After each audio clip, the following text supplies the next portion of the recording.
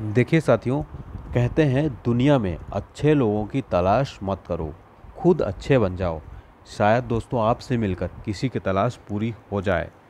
तो ज़बरदस्त तरीके से मेहनत करिए, आप लोगों को ज़रूर सफलता मिल जाएगी।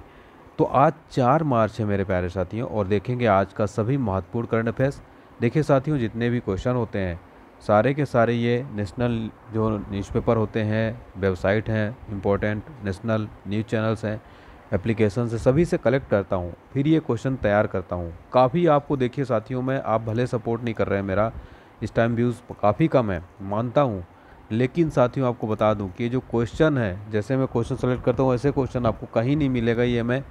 आप खुद लास्ट तक देखेंगे तो आपको खुद समझ में आ जाएगा। जितने मेरे रेगुलर स्टूडेंट हैं, वो खुद कमेंट बॉक्स में फीडबैक में सब कुछ बताते हैं।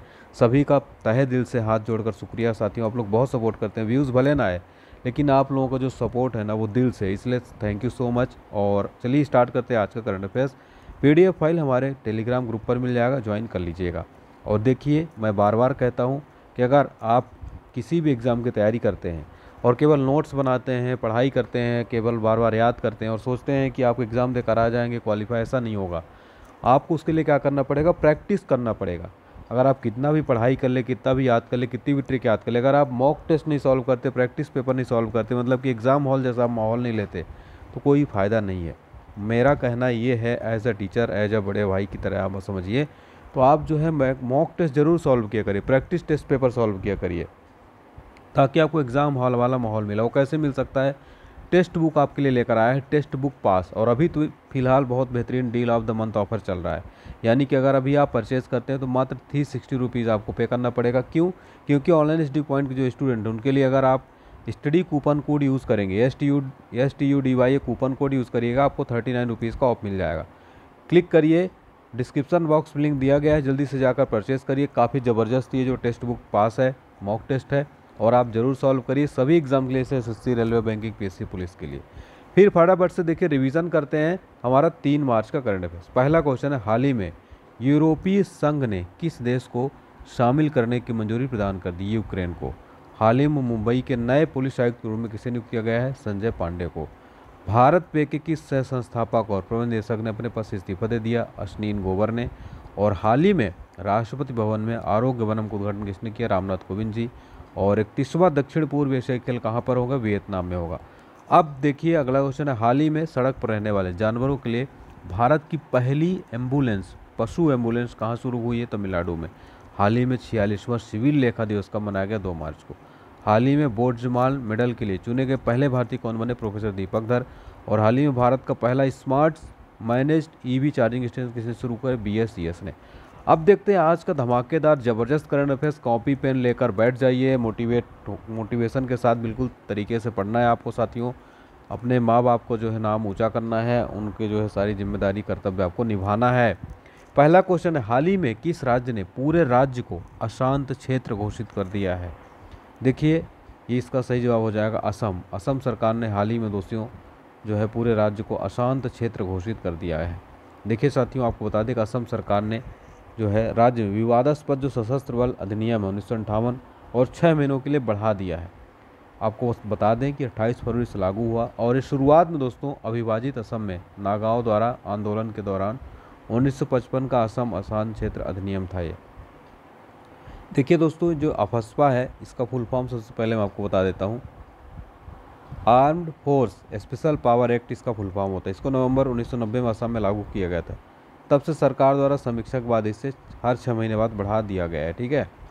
अब देखिए दोस्तों, जो अफस्पा है, यानी कि आर्म फोर्स स्पेशल पावर, जो कि अशांत क्षेत्रों में सार्वजनिक व्यवस्था बनाए रखने के लिए, सिक्योरिटी जो फोर्स हैं, उनको जो है काफ़ी जो है अधिकार देता है, और ये नॉर्थ ईस्ट जो स्टेट है, उनमें जो काफ़ी जो है विवादास्पद मुद्दा रहा है, ठीक है? तो ध्यान रखिएगा। देखिए, यहाँ पर बात हो रही किसकी? असम की। अब असम से रिलेटेड एग्ज़ाम में कई क्वेश्चन बनते हैं। असम की राजधानी क्या है? दिसपुर है। मुख्यमंत्री कौन है? हेमंत बिश्व शर्मा हैं। राज्यपाल जगदीश मुखी हैं। एक क्वेश्चन स्टेटिक जी के पूछा जाता है, काजीरंगा नेशनल पार्क कहाँ स्थित है असम के अंदर? और भारत का नवीनतम राष्ट्रीय उद्यान दिहंग पटकई राष्ट्रीय उद्यान कहाँ स्थित है असम के अंदर? गोपीनाथ बरदोलाई एयरपोर्ट कहाँ पर स्थित है? असम के अंदर स्थित है, ठीक है? ध्यान रखिएगा। यहाँ पर देखिए, एक ऑप्शन छत्तीसगढ़ का भी था। छत्तीसगढ़ से रिलेटेड देखिए, एक एग्ज़ाम में क्वेश्चन बहुत कुछ बनता है और करंट अफेयर्स जितने रिलेटेड क्वेश्चन है, मैं करा देता हूँ। छत्तीसगढ़ के पहले मुख्यमंत्री का हाल ही निधन हुआ उनका क्या नाम था जीत जोगी ध्यान रखिएगा। पंडवानी नृत्य कहाँ का नृत्य? छत्तीसगढ़ का। और देखिए क्वेश्चन एग्ज़ाम में पूछा गया था एस एग्ज़ाम में, भारत का पहला शहर कौन सा है? जहाँ सामुदायिक वन संस्थान पर स्थानीय लोगों को अधिकार दिए गए धमतरी, छत्तीसगढ़ में। भारत का नवीनतम टाइगर रिज़र्व कौन सा गुरु घासीदास टाइगर रिज़र्व, छत्तीसगढ़ में। भिलाई लौह इस्पात केंद्र कहाँ छत्तीसगढ़ में। रूस की सहायता से स्थापना की गई थी, साथियों।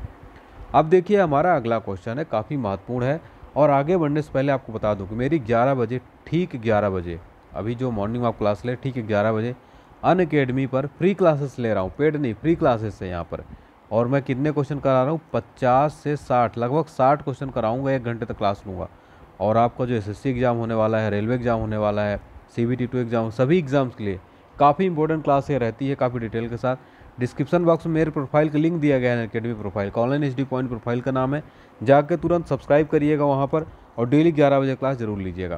क्वेश्चन नंबर सेकंड हाल ही में LIC म्यूचुअल फंड के नए एमडी और सीईओ कौन बने हैं? देखिए साथी तो सही जवाब हो जाएगा टी एस कृष्णमूर्ति जो हैं। Sorry T S Ramakrishnan L mutual fund के नए एमडी और सीईओ बनाए यानी कि मैनेजिंग डायरेक्टर और चीफ एग्जीक्यूटिव ऑफिसर बनाया गया है। तो देखिए साथियों, आपको बता दें कि जो म्यूचुअल फंड एसेट्स मैनेजमेंट के एमडी और सीईओ के रूम में दिनेश पांगटे जो हैं, इसके पूर्ण, पूर्व पूर्णकालिक निदेशक और सीईओ का स्थान लेंगे, ठीक है? टी एस रामकृष्णन अब बन जाएँगे। तो इसको आपको ध्यान रखना है। और देखिए साथियों, मैं यहाँ पर क्या करता हूँ, जितने भी क्वेश्चन होते हैं ना, उससे रिलेटेड जो भी नियुक्तियाँ, उससे रिलेटेड क्वेश्चन है, जैसे अवार्ड से रिलेटेड उससे रिलेटेड मैं क्या करता हूँ टॉप जो इंपॉर्टेंट अभी हाल में नियुक्तियाँ वो मैं करा देता हूँ। तो देखिए अभी हाल ही में जितनी भी प्रमुख कंपनियों के सी बने हैं, वो मैं आपको यहाँ पर पूरा पूरा करा रहा हूँ रिलेटेड क्वेश्चन है। तो ध्यान दीजिएगा मेटा कंपनी के सी कौन बने मार्क जुकरबर्ग गूगल कंपनी के सी कौन बने सुंदर पिचाई ओयो के सी कौन है रोहित कुमार पेटीएम के सी हैं वरुण श्रीधर पतंजलि के सीईओ आचार्य बालकृष्ण ट्विटर के सीईओ हैं पराग अग्रवाल यूट्यूब के सीईओ कौन है सुजान बोजेस्की माइक्रोसॉफ्ट के सीईओ कौन है सत्य नडेला हैं ठीक है तो सीईओ से रिलेटेड बात हो रही थी तो मैंने यहाँ पर सीईओ से रिलेटेड पूरे इंपॉर्टेंट क्वेश्चन करा दिए जो कि आपको कोई नहीं कराएगा इतने सारे क्वेश्चन फिर भी आप लोग सपोर्ट नहीं करते हैं तो देखिए कैसा कंटेंट आपको चाहिए। अगर आपको अच्छा नहीं लगता तो कमेंट बॉक्स में बताइए। अगर अच्छा लगता है तो मोटिवेट भी करिए, लेकिन आपसे हाथ जोड़कर निवेदन है।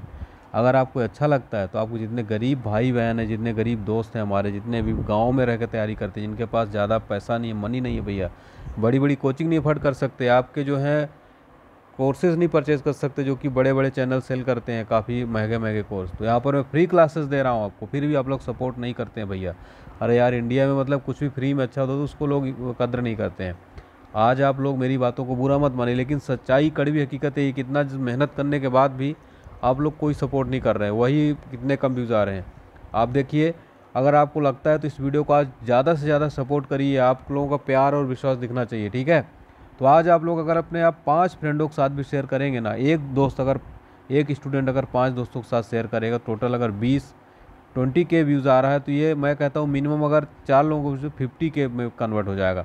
तो आज आप अपना प्यार सपोर्ट दिखा दीजिए। फिफ्टी के तक इस वीडियो को अगर आप अपने भाई की तरह इसको शेयर करेंगे तो बहुत ज़बरदस्त तरीके से ग्रो होगा। चलिए क्वेश्चन नंबर थर्ड है। हाल ही में तिहत्तरवा स्टेडजा मेमोरियल बॉक्सिंग टूर्नामेंट में भारत ने कितने स्वर्ण पदक जीते हैं? स्ट्रेटजा मेमोरियल बॉक्सिंग टूर्नामेंट में भारत ने टोटल दो गोल्ड मेडल जीते हैं।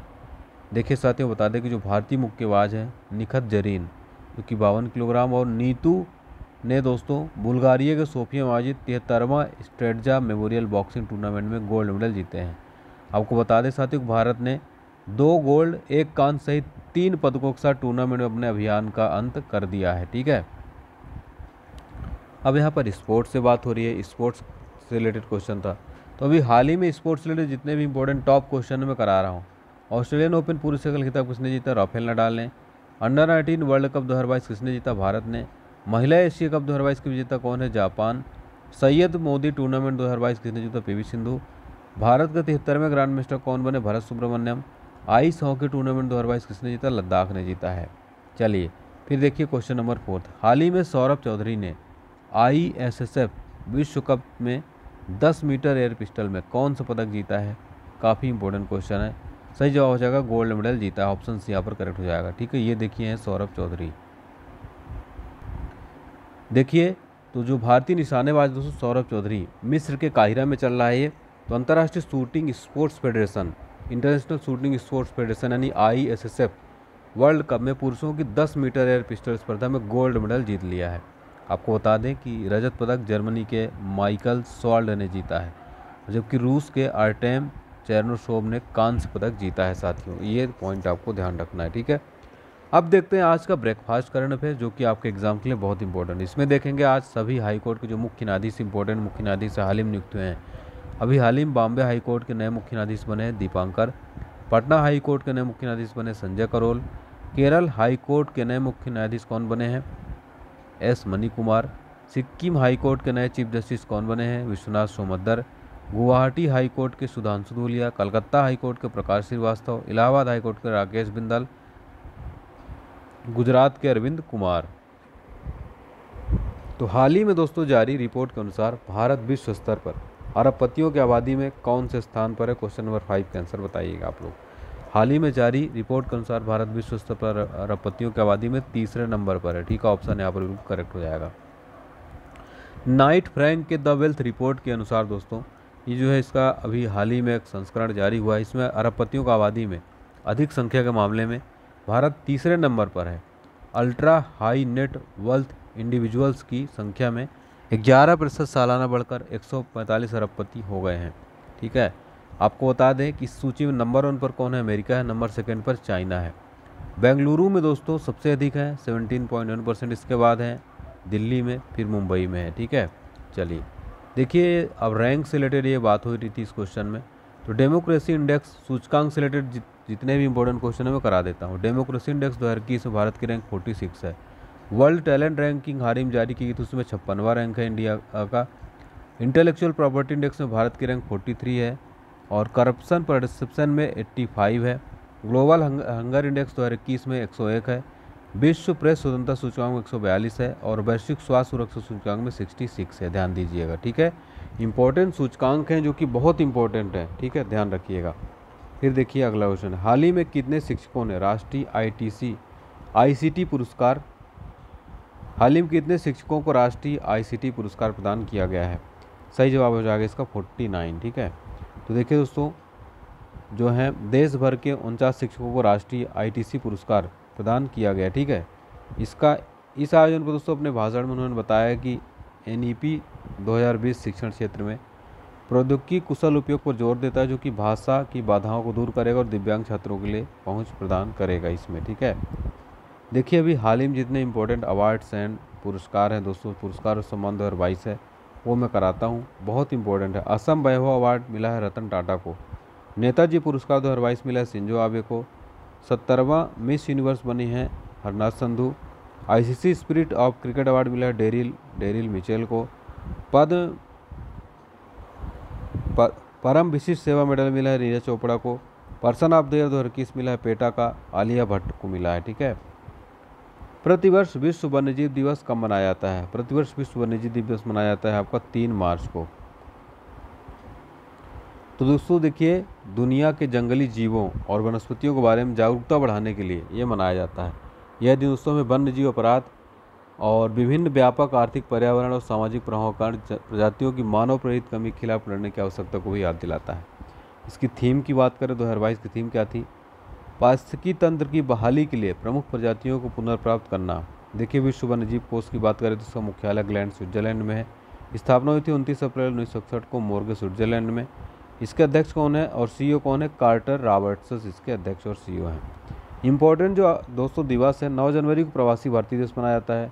विश्व हिंदी दिवस जनवरी को मनाया जाता है, दस जनवरी को राष्ट्रीय बालिका दिवस, चौबीस जनवरी को राष्ट्रीय मतदाता दिवस, पच्चीस जनवरी को नेशनल डी वार्मिंग डे, दस फरवरी को राष्ट्रीय विज्ञान दिवस, अट्ठाईस फरवरी को अंतर्राष्ट्रीय महिला दिवस मनाया जाता है, आठ मार्च को।